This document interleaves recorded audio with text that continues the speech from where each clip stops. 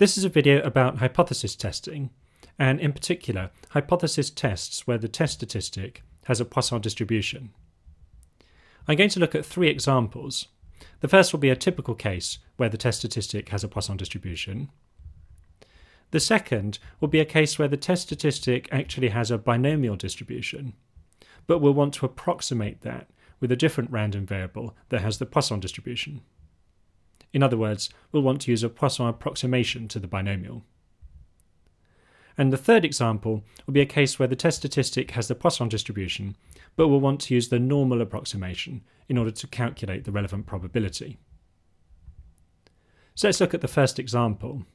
And this is going to be to do with large fires in the US. In particular, we're going to be looking at large fires that burn over 100,000 hectares of land. That's over 100,000 square kilometres of land. So large fires in US have occurred at the rate of about 9 per year over the last decade or so. But in 2012, there were 16 large fires. So let's test at the 5% level of significance whether the rate of large fires has increased. Now, the number of large fires is a number of events in a fixed interval of time. So it makes sense to assume that the test statistic here has the Poisson distribution. The number of fires should have the Poisson distribution with parameter lambda. And we should set our null hypothesis as lambda equals 9, because that should be our default assumption about the number of large fires that should happen in one year. Lambda would be 9 if there's been no change from the historical average. Our alternative hypothesis will be that lambda is greater than 9, because we want to know whether the rate of large fires has increased. Okay, now the probability that we want to work out is the chance that we get 16 large fires, or a number like 16 large fires. But remember, what we mean by like 16 is 16 or more, because the alternative hypothesis says that lambda is greater than 9. So the numbers that are like 16 here are the numbers that are greater than 16. So we need to find the probability of getting 16 or more large fires on the assumption that lambda equals 9. Now we'll do that using the tables. And in order to use the tables, we need to convert this into the probability that x is less than or equal to something. So the probability that x is greater than or equal to 16 will be 1 take away the probability that x is less than or equal to 15. And that's something we can look up using the tables. If we find where lambda equals 9, and we look along the row where x is equal to 15, we see the probability 0.9780. So the probability that we want to calculate is 1 take away 0.9780, and that's equal to 0.0220. Now that's a lot less than 5%, the level of significance that we're using. So this means that we will reject h 0 The logic here is that if lambda are equal to 9, then the probability of getting 16 or more large fires would be tiny. So small that what we're going to say is that we don't believe that lambda is equal to 9. The probability of that outcome is so tiny that we don't believe the null hypothesis anymore. So we reject the null hypothesis. And that means that we've got sufficient evidence to conclude that the rate of large fires has increased. Okay, so that's one way of answering this question. But you should be aware that there's a different method, and that uses a critical region. If we go back to this stage, we can find the critical region, in other words, the set of values which would cause us to reject the null hypothesis. And we can do that using the tables. What we need to do in this case is to scan up the column where lambda equals 9 and stop at the last probability that's still greater than 0.95. So in this case, we stop at 0.9585. So that means that the probability of getting 14 or less is 0.9585. And if we subtract that from 1, 1 minus 0.9585 will be the probability of getting 15 or more. So if we come along the row that's just below 0.9585, we reach 15, and the critical region here will be the numbers that are 15 or more. it's really important to understand why we come along the row below. That's because 0.9585 is the probability of getting 14 or less. But when we subtract that from 1, 1 minus 0.9585 is the probability of getting 15 or more. So we can say here that the critical region is x is greater than or equal to 15. It's the numbers that are 15, 16 and higher. So obviously 16 is in the critical region here. And that's another way of seeing that we should reject h naught.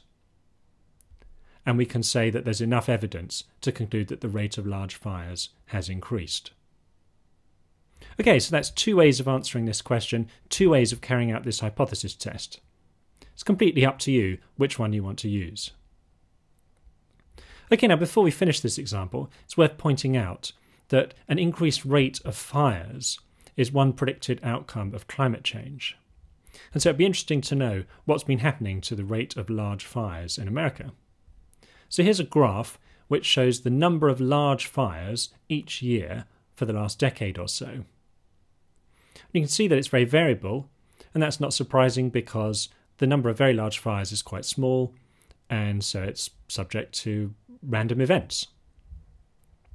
But nevertheless, there is an upward trend, and if I draw a line of best fit, you can see that it's steadily going upwards. So there's some evidence here that the rate of large fires in America is increasing, and that should be a great cause of worry because, needless to say, large fires cause a lot of destruction. And one more thing before we move on uh, I said at the beginning that the test statistic will have the Poisson distribution because it represents the number of events in a fixed interval of time. But let's just think about whether it meets all the criteria for a Poisson distribution. So the first criterion is that the events must occur randomly in a fixed interval of time or space. And that seems to be okay. Um, presumably, fires do on the whole occur randomly. They're caused by things like lightning strikes, um, and although some of them are triggered by human beings, they're presumably mostly by accident, and even the odd one that's set off deliberately, I suppose you could still see as a random event. But the second criterion says that they must occur at a constant average rate, and a little thought will show that that's probably not true of large fires. Because presumably, on the whole, they're more likely to occur in the summer when the ground is dry and warm um, and they're much less likely to occur in the winter or when it's raining. So it's very unlikely that fires occur at a constant average rate. The third criterion says that they must occur independently, and that probably won't be true either, because if you know that a fire has just happened, that indicates that you're probably dealing with the summer months where it's warm and dry, and that there are lightning storms around, and that means that if one fire has just been triggered, it's probably more likely that another one is going to happen fairly soon. So it won't be true that the fires occur independently, I don't think. The final criterion says that things must occur one at a time. I'm not sure about this one. It's probably case because if you had two fires being triggered near to each other, perhaps related, they'd probably just merge into one anyway, and they'd probably count as one big fire. But um, it's clear that not all of these criteria are satisfied, and so it's doubtful whether the number of fires would have an exact Poisson distribution. But hopefully, the distribution of the test statistic would be sufficiently similar to a Poisson distribution for the hypothesis test to be valid. And remember, the probability that we calculated was significantly less than 5%. Okay, let's move on and look at my second example, and this is going to be to do with connecting to a Wi Fi network. Suppose that a teacher manages to connect to his school's Wi Fi network once every 20 attempts on average. And he complains about this a lot, so the school carries out some network maintenance to try and improve the situation. But afterwards, the teacher manages to connect only twice in his first 150 attempts. Can we conclude that the network maintenance has made a difference to the teacher's ability to connect to the Wi Fi network. Well, the random variable here, the test statistic, will have a binomial distribution because we're dealing with a number of successes in a sequence of trials. The trials are the attempts to connect to the network, and success is managing to get online. The null hypothesis we'll say that p is 0.05. The probability of success is 1 over 20, because we're told that in the past the teacher manages to connect once every 20 attempts.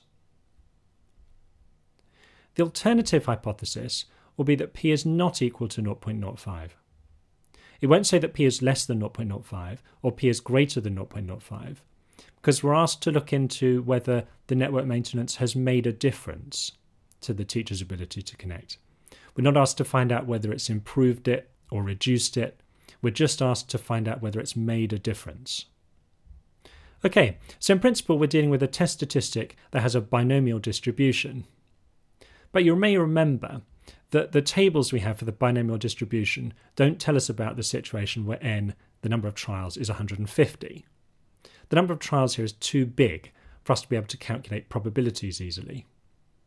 So the thing to do is to use a Poisson approximation. And that's valid because we're dealing with a situation where the number of trials is large and the probability of success is small. And if the number of trials is large and the probability of success is small, then we're allowed to use the Poisson distribution to approximate the binomial distribution. Now, in order to do that, we need to find the expected number of successes, and that's going to be n times p. Lambda will be 150 times 0.05, and that's 7.5. So the expected number of successes is 7.5.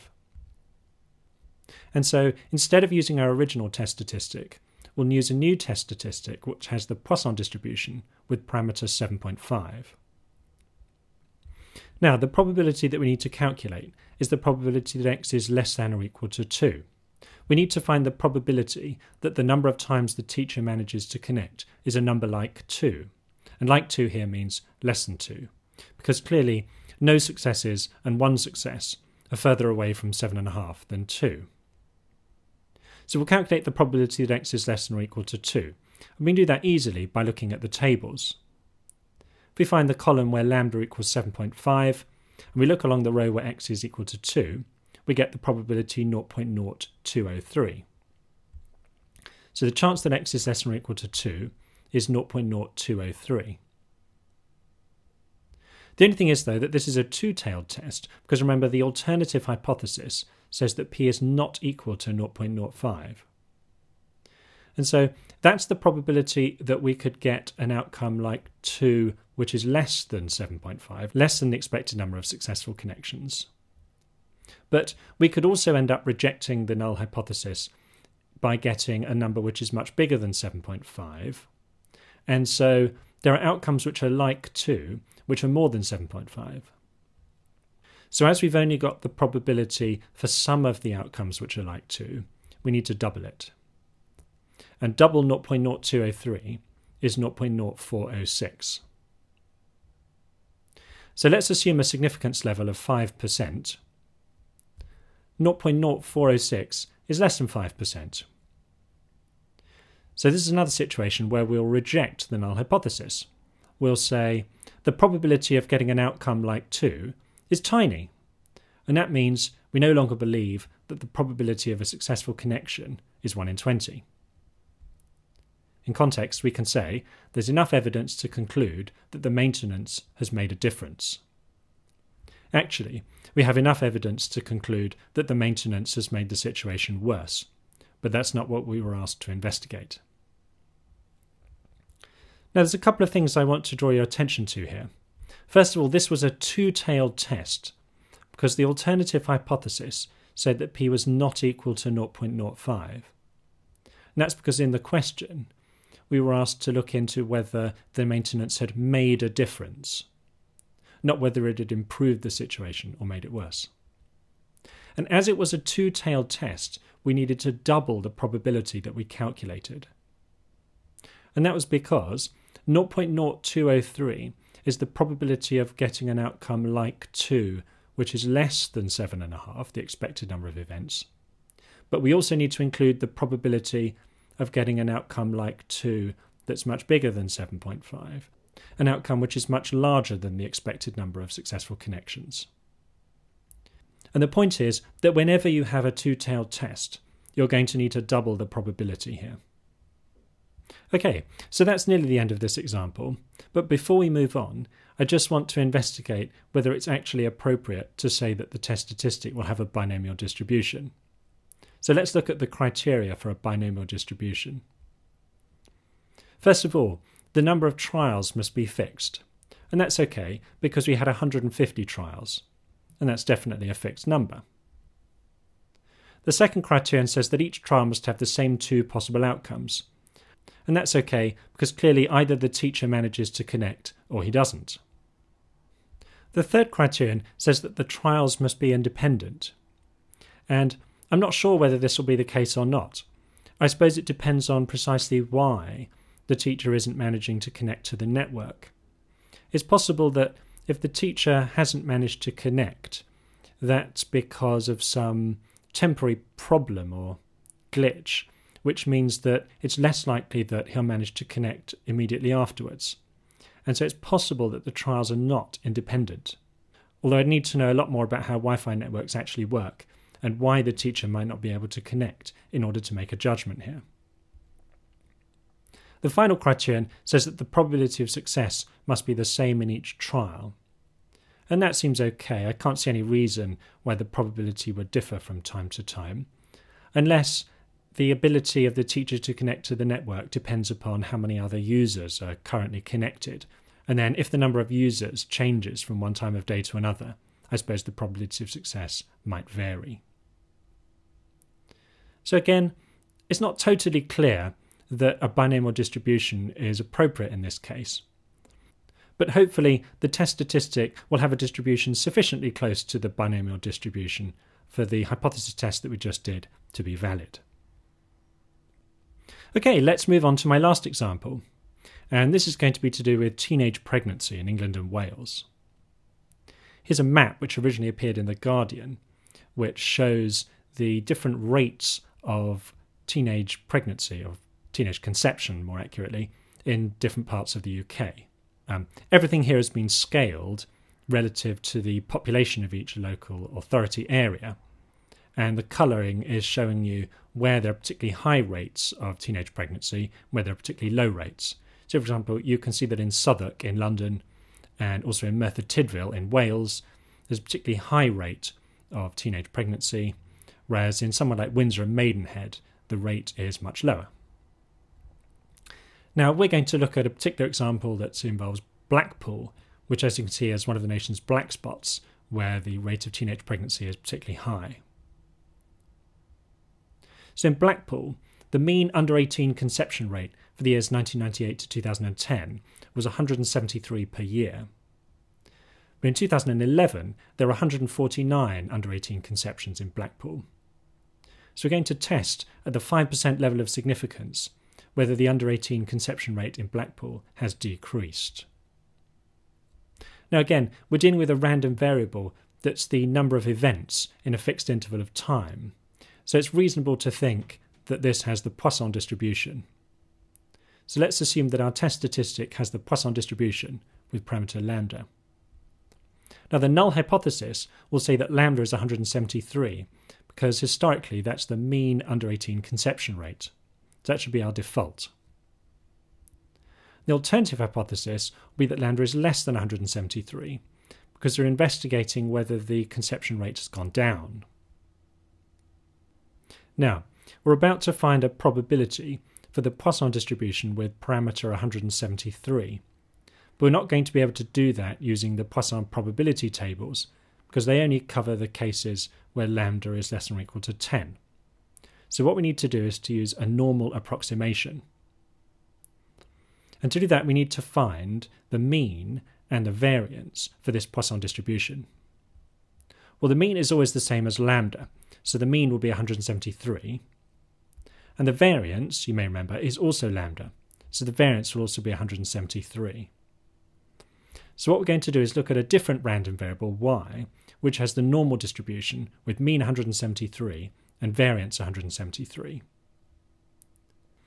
Okay, now the probability that we need to work out is the chance that x is less than or equal to 149, because we need to know the chance of getting a number like 149 under 18 conceptions.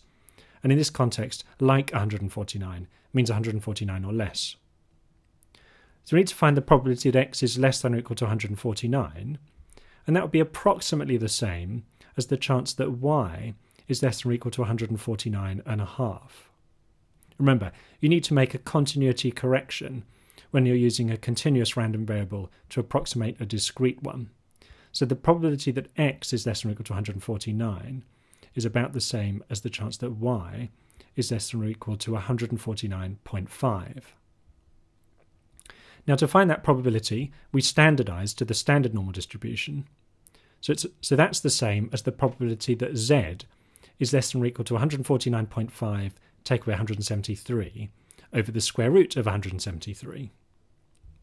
In other words, it's the probability that z is less than or equal to minus 1.79. Well, that's something that we can look up in the tables, because if you find positive 1.79, you'll see that the probability that z is less than or equal to that is 0.9633. The only thing is that we don't want to know the probability that z is less than or equal to positive 1.79. We want to know the chance that it's less than or equal to minus 1.79. So what we have to do is to subtract the number that we looked up from 1 and do the sum 1 take away 0.9633. And that gives us the answer 0.0367. Okay, well 0.0367 is less than 5% and that means that we can reject the null hypothesis. And in context, we can say that there's enough evidence to conclude that the under 18 conception rate in Blackpool has gone down. Okay, there's one thing I want to draw your attention to here, and that's that we used a continuity correction when we were using the normal distribution to approximate the Poisson distribution. Remember, you always have to make a continuity correction when you use a continuous random variable to approximate a discrete one. And that's because if x is discrete but y is continuous, the probability that x is equal to 149 will not be the same as the probability that y is equal to 149. In fact, the probability that y, a continuous random variable, is exactly equal to 149 will be zero the chance that x is equal to 149 will be about the same as the chance that y is between 148 and a half and 149 and a half. So, when you're using the normal distribution to approximate the Poisson distribution, you make a continuity correction on your way to calculating a probability. Okay, you may be interested to see how the under 18 conception rate has been changing. And interestingly, the under 18 conception rate in England and Wales has decreased enormously. It's gone down from 47.1 in 1998 to 30.9 in 2011. In Blackpool, it's been much higher, and there's been a lot more variation. It's gone up and down, but also it's been decreasing on the whole. Um, by the way, it's not surprising that the rate in Blackpool has gone up and down a lot more, and that's because we're dealing with a much smaller number of under 18 conceptions, and therefore there's going to be a lot more random variation in it. But they've both gone down, and if we draw a line of best fit, you can see that they both slope down quite reasonably. Although I suppose we should be careful of drawing a line of best fit here, because there's no reason to suppose that the trend is linear. Okay, well, before I finish this video, the whole topic of under 18 conceptions, or teenage pregnancy as it's always referred to in the media, is an interesting one, and it's one where statisticians need to be careful. Um, here's what the Office for National Statistics in the UK has to say about teenage conceptions. They say it's widely understood that teenage conception and early motherhood can be associated with poor educational achievement, poor physical and mental health for both mother and child, social isolation and poverty and they say there's recognition that socioeconomic disadvantage can be both a cause and a consequence of teenage motherhood. This is why the Labour government, from 1997 to 2010, set a target to halve the under 18 conception rate in England by 2010 when compared with 1998. And local authorities like Blackpool have got 10 year strategies in place aiming to reduce the local rate between 40% and 60%. Well, the interesting thing here is all this talk about association between under 18 conception and bad things like poor educational achievement, bad physical and mental health, um, social isolation, and poverty. And the carefully worded statement that socioeconomic disadvantage is both a cause and a consequence of teenage motherhood. So I just wanted to draw your attention to this because it shows how careful this group of statisticians is being not to overstate the importance of their findings. I mean, here's a scatter chart which shows the degree of correlation between under 18 conception, teenage pregnancy, and um, child poverty. Each dot represents one of the local authorities in England, and for each local authority, we've got the under 18 conception rate and also the percentage of children within that local authority that are living with poverty. And what you can see, there's a very high degree of correlation between these two measures. So the local authorities with very high under 18 conception rates are also the places where a high proportion of children are living in poverty. And this, the opposite's true as well, that the local authorities with a low under 18 conception rate are also the places with not many children living in poverty. And if you remember back to the map of England and Wales that I showed you at the start, that makes sense. Remember, we had um, Windsor and Maidenhead, which had a very low under 18 conception rate. And that's also somewhere that you'd think of with wealthy people and not much um, and not much poverty. Whereas some of those black spots with high rates of teenage pregnancy are also places with high levels of poverty. So there's a very high degree of correlation between teenage pregnancy and bad things like poverty and bad educational achievement and so on.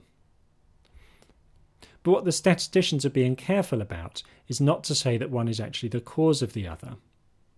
Because it could be that teenage pregnancy is a cause of poverty and bad mental health and things like that. But it could also be the other way around. It could be that bad mental health and bad educational achievement are causes of teenage pregnancy.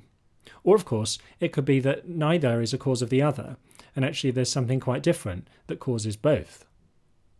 So it could be something in the lifestyle or the background of different places, which means that, first of all, people opt to have children when they're still teenagers, and on the other hand, that they end up with bad educational results and end up being socially isolated and poor.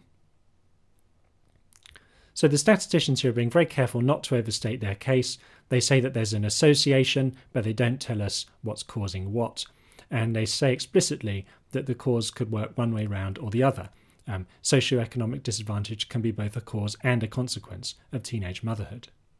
An interesting thing for statisticians is that all of these statistics and the correlation measures and the graphs don't really tell us precisely what we want to know, which is, I suppose, whether the young mothers, the, the women who have opted to have children when they're still teenagers, are better off or worse off as a result and also whether the children are better off or worse off than if the mothers had chosen to wait until they were somewhat older.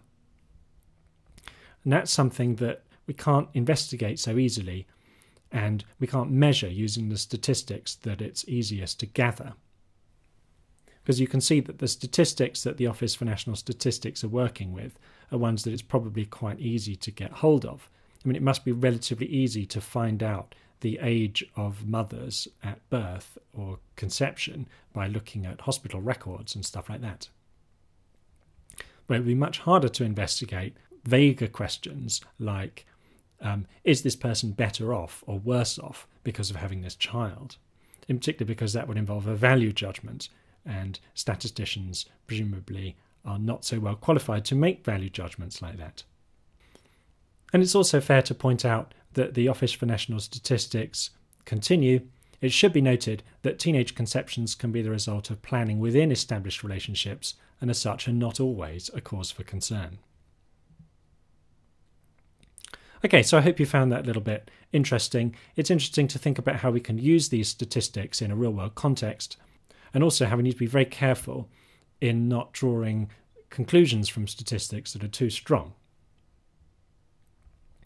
Okay, Thank you very much for watching my video about hypothesis testing. I hope you found it useful for showing you how to carry out a hypothesis test where the test statistic has a Poisson distribution. Thank you very much for watching. I hope you come back and watch one of my other videos soon.